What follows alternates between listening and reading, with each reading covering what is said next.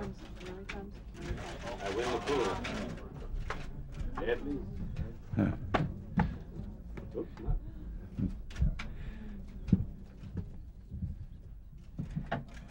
On May 27, 1986, Chief Justice Burger advised me that he wanted to devote his full energies in the coming year to the important work of the Commission on the bicentennial of the Constitution, and for that reason would be retiring as Chief Justice of the Supreme Court as of the end of the court's current term.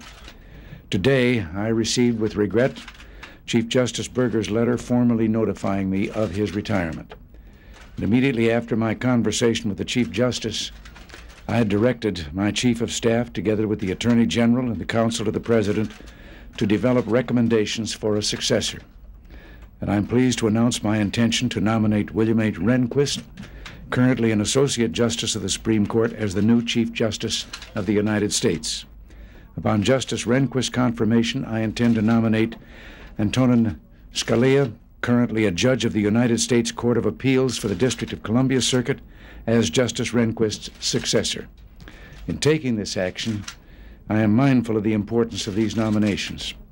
The Supreme Court of the United States is the final arbiter of our Constitution and the meaning of our laws.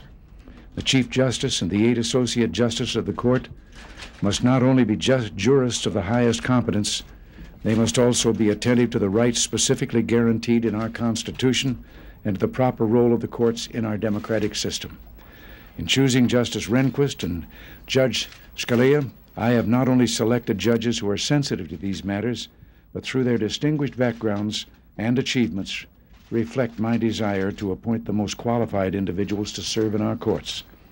Justice Rehnquist has been an Associate Justice of the Supreme Court since 1971, a role in which he has served with great distinction and skill. He is noted for his intellectual power, the lucidity of his opinions, and the respect he enjoys among his colleagues. Judge Scalia has been a judge of the United States Court of Appeals for the District of Columbia Circuit since 1982. His great personal energy, the force of his intellect, and the depth of his understanding of our constitutional jurisprudence uniquely qualify him for elevation to our highest court. I hope the Senate will promptly consider and confirm these gifted interpreters of our laws.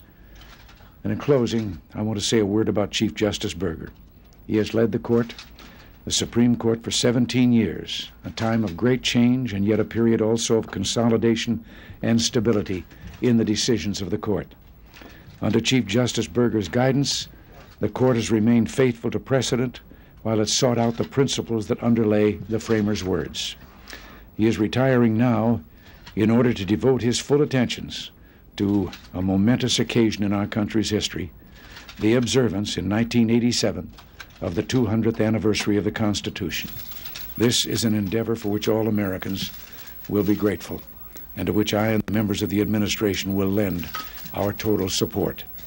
I'm proud and honored to stand here today with Chief Justice Burger, with Justice Rehnquist, and with Judge Scalia, and to discharge my constitutional responsibilities as President of the United States.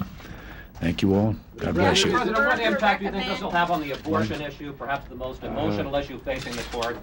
It probably won't surprise you when I tell you that I'm not going to take any questions now.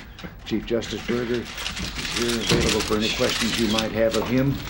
And I think the others of us, uh, Mr. Are you satisfied surely you that the not judge agrees with you on the abortion issue, though, sir? What? Are you satisfied that the judge agrees with you on the abortion issue? I'm not going to answer any questions. If I start answering one, I'll Uh, Mr. President, what, what was the process which led you to Judge Scalia? Did you know him before, or did people come to you and recommend him? What was the process? I previously appointed him into his presence. But what made you Well, think sure- that he surely was you the must think, sir, that he agrees with you on uh, such issues as abortion, affirmative action, prayer in the schools? That's a question. And uh, as you said, Why didn't you you appoint asked- Mr. uh, I can't say no questions, I can say no answers. Mr. President, without a you're question, right. could you tell us a little bit about the new justice? Uh, Whatever you can. Background. There will be background Would material it be for the American could people? be made available to you. Do you know him personally? Yes. Do you want to take questions on another subject? Have you heard from Gorbachev on the summit yet, sir? Uh, No, I think the subject today is justice. Well, can we ask Did Justice Burger? uh, Chief Justice recommend his Burger, could you, uh, successor? Did he recommend his successor? No, the justice said that he would not presume to do that. He did discuss uh, with me uh, individuals and to give me his opinion of it. Well, Mr. Chief Justice, maybe it's appropriate now to ask you to give us your thoughts after, uh, what, since 1969, 17 years in the court? 17 years, yes. Sum up, sum up your tenure. What do you think you've done for this Had to court? take me about 17 years, and you don't want to spend that much time. Why are you leaving the court, sir? Could you- Could you explain a little bit why you're leaving the court? For one primary reason, that the 200th anniversary of the Constitution got a late start, the celebration got a late start. It is vastly underfinanced, and we're going to have the devil's own time trying to do the kind of a job that ought to be done for this great event. John Warner, the uh, chairman of the 76 event, you remember, was drafted from his job as Secretary of the Navy, which he did not want to leave. Uh, and he told me, he being an old friend, he told me when this subject came up uh, last year